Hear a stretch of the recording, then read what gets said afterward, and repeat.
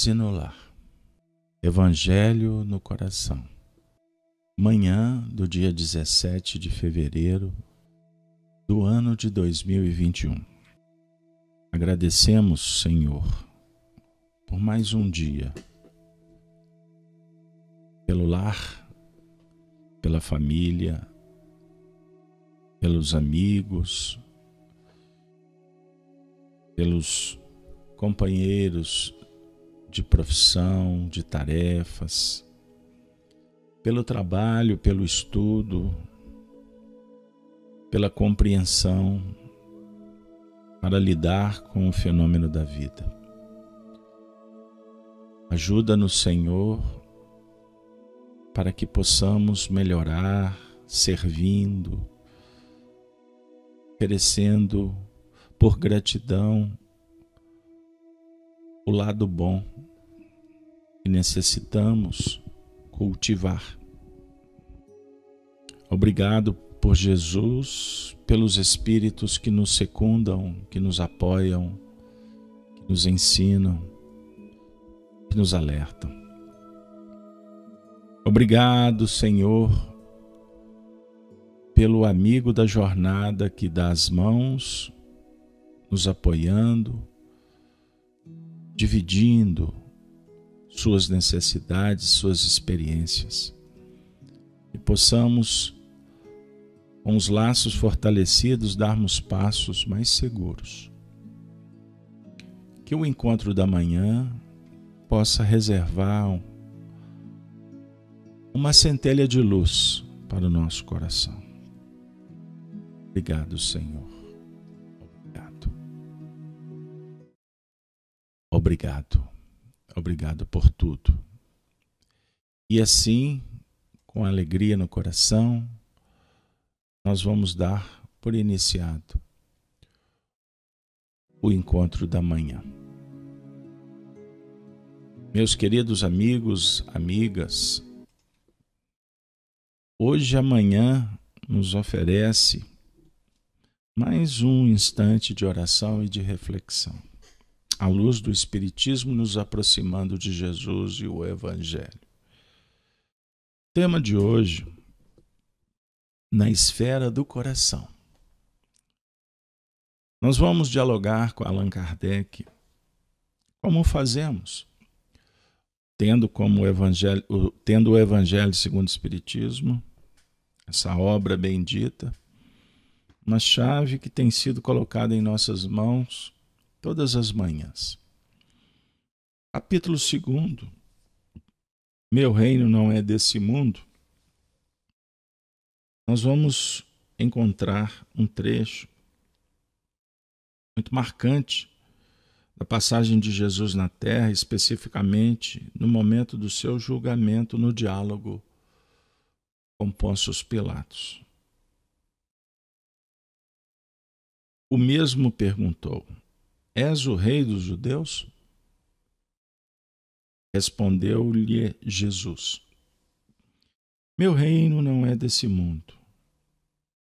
Se o meu reino fosse desse mundo, a minha gente houvera combatido para impedir que eu caísse nas mãos dos judeus. Mas o meu reino ainda não é aqui. Interessante um aspecto do versículo. Ele está falando para Pilatos que se o reino fosse daqui, da terra, no âmbito temporal, ele não teria caído na mão, nas mãos dos judeus. Foram os judeus, os intelectuais, os religiosos, que aprisionaram o homem justo e levavam para César, no caso através de Pôncio Pilatos, dar o veredito. Mas o nosso foco principal é refletirmos sobre o ponto de vista íntimo, o reino do Espírito primeiro momento, que se aproximam do Espiritismo vão logo recordar do mundo, da habitação dos espíritos fora da carne. O que sugere que o mundo espiritual, conjugado com o mundo físico, se ap apresenta para nós muitas moradas, dimensões. Não existem apenas duas encarnados ou desencarnados, vamos dialogar com uma possibilidade dual. Mas o nosso objetivo, volto a dizer, sempre é procurar o mundo das ideias, o mundo moral, o mundo íntimo. A nossa pátria espiritual. Ela está dentro. Pois é o fundamento para se compreender o universo. Nesse sentido, nós vamos convidá-los para percorrer um pouco do Evangelho segundo o Espiritismo para a gente ir ao item 7. Kardec diz assim: O Espiritismo dilata o pensamento e lhe rasga horizontes novos. Recordando Paulo de Tarso quando diz: Olhai para as coisas de cima. Em vez desta visão acanhada e mesquinha, que o concentra na vida atual e faz do instante em que vivemos na Terra único e frágil eixo do porvir eterno, ele, o Espiritismo mostra que essa vida não passa de um elo no harmonioso e magnífico conjunto da obra do Criador. Mostra a solidariedade que conjuga todas as existências de um mesmo ser. Todos os seres de um mesmo mundo e os seres de todos os mundos. Faculta assim uma base e uma razão de ser a fraternidade universal enquanto a doutrina da criação da alma por ocasião do nascimento de cada corpo torna estranhos uns aos outros todos os seres. Essa solidariedade entre as partes de um mesmo todo explica o que inexplicável se apresenta, desde que se considere apenas um ponto. Este conjunto ao tempo do Cristo, os homens não teriam podido compreender. Motivo porque ele reservou para outros tempos o fazê-lo conhecido. Naturalmente, eu estou fazendo um recorte de um texto extenso para que a gente possa dar um fundamento para a reflexão do dia. Allan Kardec está dialogando em cima do meu reino não é desse mundo, oferecendo reflexões sobre um pilar dos ensinamentos do Cristo, que, por sinal, é o item 2 desse mesmo capítulo. Significa a vida futura. Sem a vida futura, ou seja, sem a preexistência da alma, a sobrevivência pós a morte e a multiplicidade das existências, ou seja, as reencarnações, Allan Kardec e os espíritos afirmam com muita autoridade e lógica, de uma forma muito didática, e se torna é, impossível compreender a mensagem do Cristo porque ficaremos limitados berço e túmulo. Há uma vida que se passa ou que é vivida de uma forma tão rápida, tão breve. Dentro da vida, muitas vidas, ciclos, ciclos menores, etapas. E se a gente for só um período da nossa existência, a gente vai ver quanto, quanto ele foi pequeno, insignificante, depois que voltamos os olhos para ele no passado. Esta é a sensação do espírito quando ele desencarna. Olha para a existência que ficou, com uma visão ampliada, obviamente, com mais condição de verificar causas e efeitos. Ele vai dizer: Meu Deus. Eu gosto muito da expressão do poeta Gonzaguinha, quando, numa das mais belas músicas, ele disse, produzidas por ele, que a vida é uma gota do tempo que se dá num segundo. A vida é muito rápida. Por isso é que é necessário, na sugestão poética, viver e não ter a vergonha de ser feliz. E aí, nas linhas filosóficas, cantar e cantar a beleza de ser um eterno aprendiz. Humildade, sensibilidade. A beleza está na verdade. A beleza suprema está na verdade. E a verdade traz harmonia. Vocês vão encontrar essa expressão na Revista Espírita de 1863, uma bela mensagem de um espírito protetor. Vou repetir. A beleza verdadeira está na verdade. E a verdade traz harmonia. Observe, diante das nossas dificuldades íntimas, nós geramos problemas, dores, desarmonia, porque não nos apoiamos na verdade. Buscamos a beleza lá fora e, na verdade, a beleza está dentro está dentro da verdade. O jogo de palavras no mundo muitos sofismas, contradições, que naturalmente sugere para nós ausência de beleza. A gente só tem algumas noções que realmente é belo. Jesus quer dizer: meu reino não é desse mundo. Ele está falando da verdade e da beleza. Ele está falando, portanto, da justiça, da ciência, do bem viver. E a nossa tendência é materializar o pensamento. Foi o que fizemos quando, quando religiosos. Pegamos o pensamento de Deus, trancafiamos dentro de uma arca, depois dentro de um, de um templo,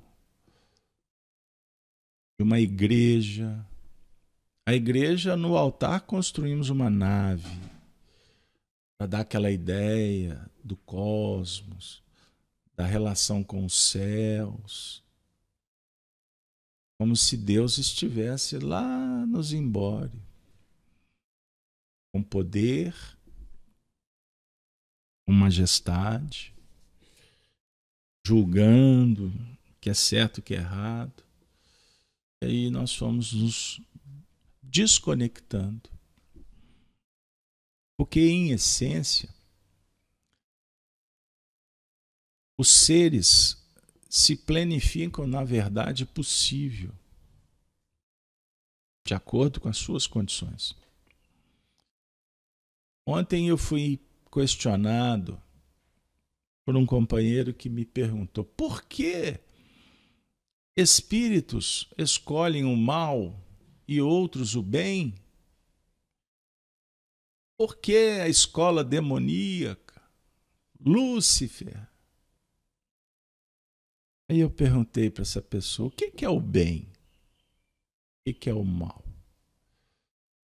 O mal sempre será o mal. Não adianta sofismar, querer justificá-lo. Mas muitos escolhem o interesse pessoal que gera o mal e acabam sintonizando com bolsões geram dificuldades. Mas eles estão vinculados ou nos, nos matriculamos circunstancialmente e naturalmente em ciclos nesses processos. Porque a nossa destinação é o bem. É o reino da beleza, da virtude, da, da bondade. Então nós estamos nos reunindo, Gênesis no lar, pelas manhãs, para repetir uma lição. Para um, alguns pode ficar cansativa, mas para nós, quanto mais se repete, mais necessidade temos de assimilar. O debate em torno de virtudes, valores e sabedoria. Virtudes. Estrelas irão brilhar no, no cosmos, que estão dentro da gente. Humildade, bondade e etc. Virtudes, valores, justiça, compreender o porquê, valor, as condições que Deus nos oferece, pessoas, coisas, tempo, reencarnações, corpos, valores. Vocês concordam que o tempo todo a gente somos chamados para avaliar? Isso vale? A gente só. Aí quando entra no terceiro território, que é o da sabedoria, não adianta você identificar o valor. Vale tanto. Temos que agir com sabedoria para usar os recursos dos valores. Ou investir de uma forma mais ajustada. Eu falo por um microfone. Esse microfone tem um valor. Ele tem um valor intrínseco. Ele foi idealizado, ele foi produzido. Ele não vai perder o valor se eu não utilizá-lo. Mas quando utilizado, ele tem um valor específico para o meu crescimento. Com isso, eu sou chamado a pensar o seguinte: que nós podemos ter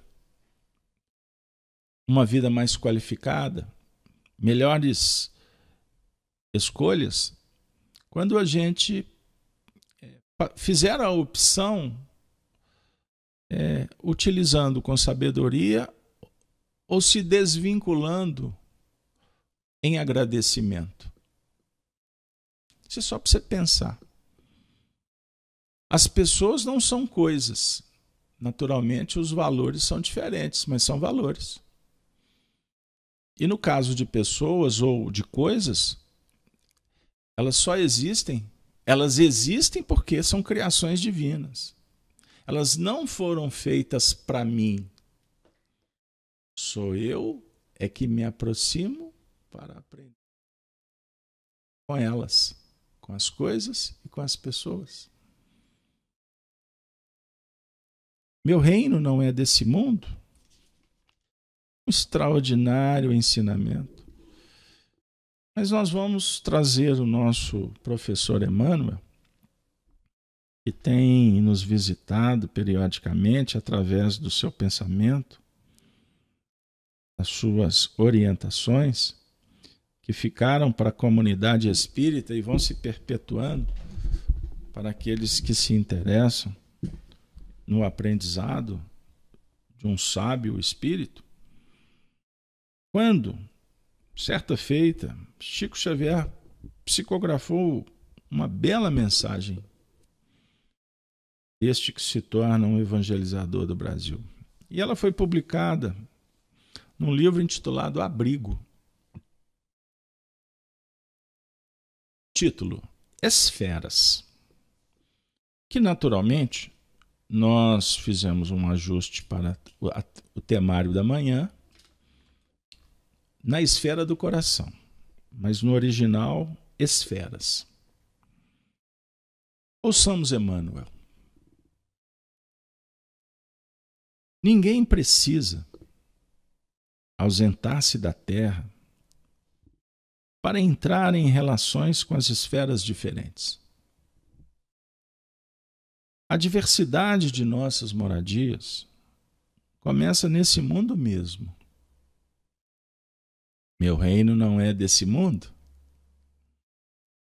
Cada mente vive na onda dos desejos que lhe são próprios. Cada coração palpita nos sentimentos que as posa. Residimos no lugar em que, situa em que situamos a própria alma. Há quem se detenha fisicamente num palácio, sentindo-se no purgatório do desespero.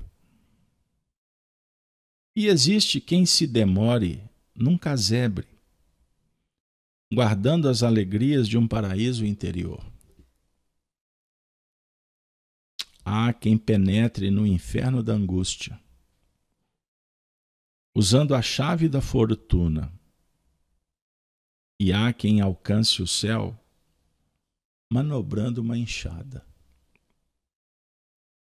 Cada espírito permanece na posição que lhe agrada. Por isso mesmo, Jesus, em nos socorrendo na terra, buscou ampliar-nos a visão e aperfeiçoar-nos o espírito para que se nos engrandeça a esfera individual e coletiva de ideal e realização, de trabalho e de luta. Cada dia, com o Evangelho no coração e nas palavras, nas atitudes e nas mãos, é mais um passo para as eminências da vida. De modo a elevar-se de condição, ninguém reclame contra o cativeiro das circunstâncias. Se os sentimentos frágeis e enfermiços são produtos do ambiente em que respiram, os sentimentos nobres e robustos são organizadores do ambiente em que atuam, na sustentação de si mesmos e a benefício dos outros. Jesus até hoje, convida-nos, através da Boa Nova, a construir a esfera mais elevada, em que nos cabe marchar para Deus. Se nos propomos a atingir as moradas do amor e da sabedoria, na luz imperecível, Aprendamos a renunciar a nós mesmos, avançando corajosamente sob a cruz dos deveres de cada dia, a fim de encontrarmos o Cristo em nossa desejada renovação. Encontrar o Cristo, a desejada renovação. Gênese no lar, Evangelho no coração.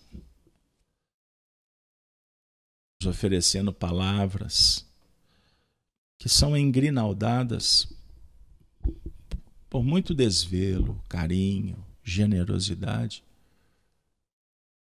por parte daqueles que nos tutelam. Os amigos espirituais, que nesse instante se aproximam, nos envolvendo, envolvendo a outros espíritos que passam pelo cadinho purificador de suas provas, suas desafiadoras expiações. Somos um só rebanho. Um só é o nosso pastor a saber: Jesus que desceu das moradas espirituais, do seu superconsciente, ou das, das regiões que ele habita, para vir ao nosso encontro, sugerindo saiamos para o trabalho, para a luta, para ascender às instâncias superiores. Isso não se faz milagrosamente. Não.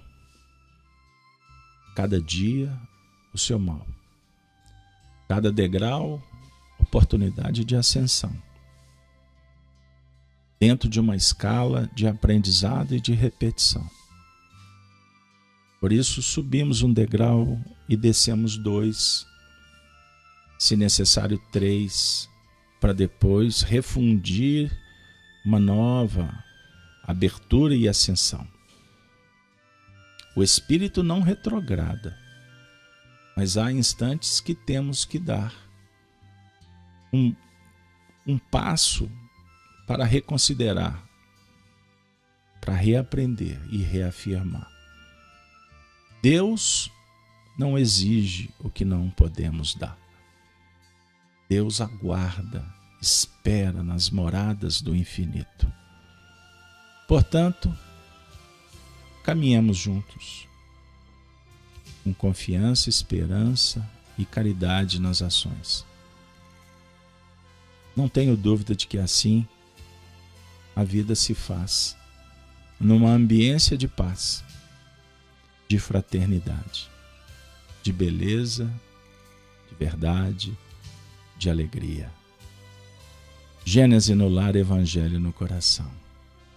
Ave Cristo, desejamos um ótimo dia para você e sua família, seus amigos, aonde você estiver. Lembre-se e viva com Jesus.